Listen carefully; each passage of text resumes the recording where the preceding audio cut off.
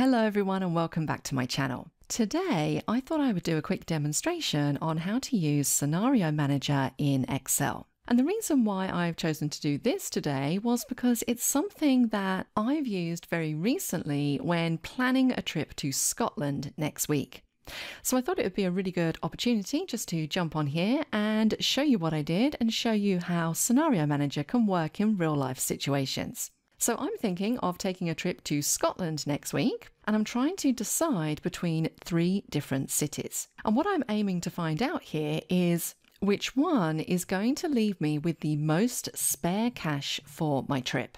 And so I've used Scenario Manager to help me with this. Now, if you've never used Scenario Manager before, you'll find it on the Data tab, and it's one of the what if analysis utilities. And Scenario Manager effectively allows you to test your data against changing inputs. And if you want to, at the end, you can produce a nice looking summary report that makes it really easy to see how each of your scenarios stack up against the other and which one is going to be preferable. So let's take a look at the data we're going to be using, and it's not a large data set. What we have at the top here is my budget, so I don't have any more than £700 to spend on this trip. Underneath that, I've listed out my inputs or my expenses for this trip. So I have my costs related to train travel, accommodation when I'm there, food, tickets for things like museums, and then some miscellaneous cash at the end.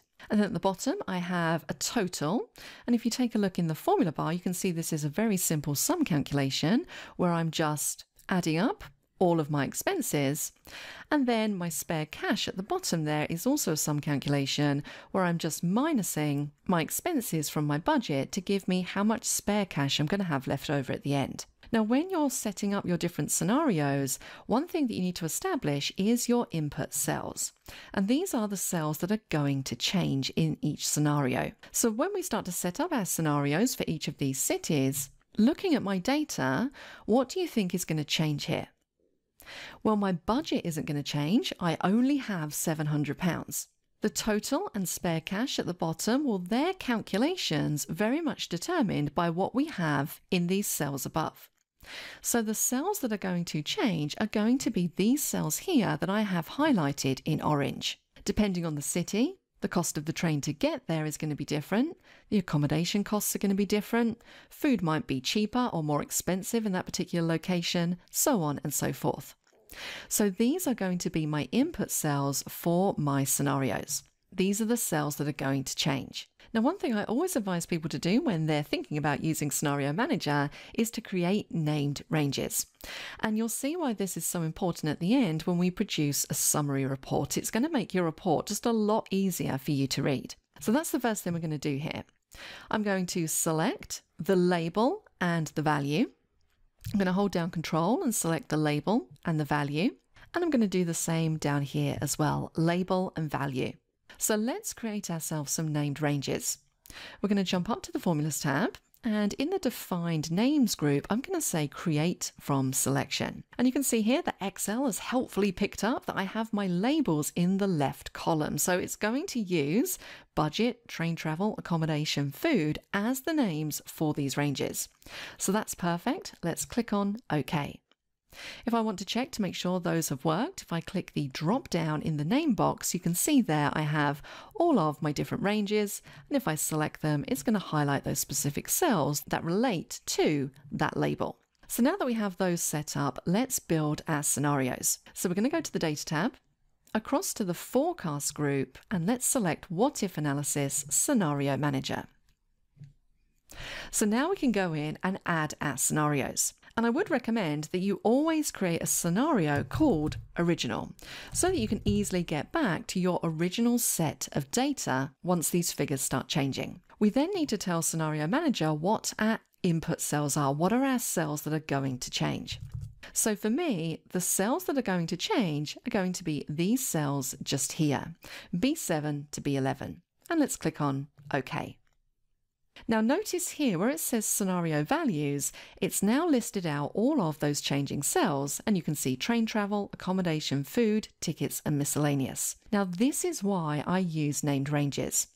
If I hadn't have named these ranges, what I would see here would be the cell references as opposed to the actual labels, which makes it a lot more difficult to know which cells you're actually changing. Now, because this is my original scenario, I don't want anything to change here. So I'm going to click on OK. Let's add another scenario. So this scenario is going to be for the first city that I'm thinking about traveling to. And that first city is going to be Edinburgh. My changing cells are B7 to B11. Let's click on OK.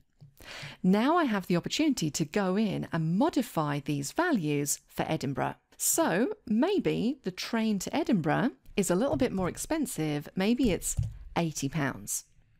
Accommodation in Edinburgh is also a little bit more expensive, so let's change this to £250. Food, well, yes, again, that is more expensive. Let's change that to 150. Tickets for the museum, that's about the same wherever we go in Scotland, so I'm going to keep that as 50.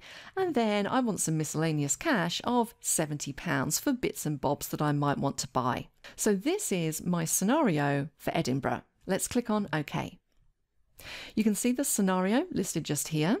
Let's add another one.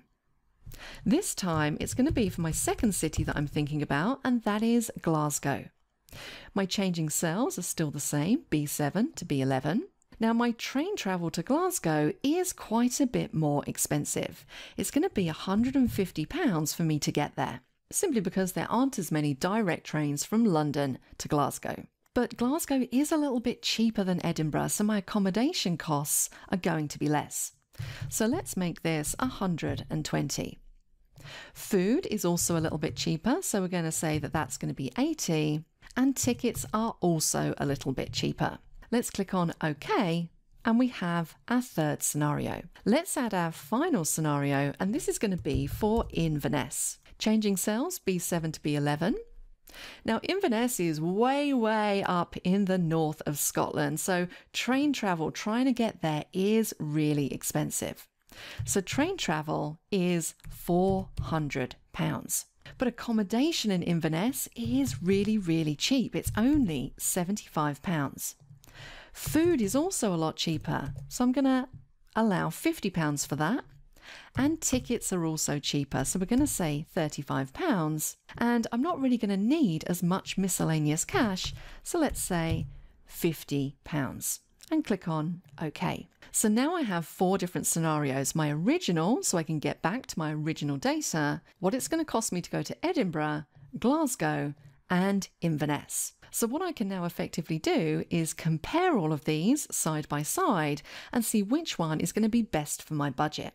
Now, there's a couple of different things I can do at this stage.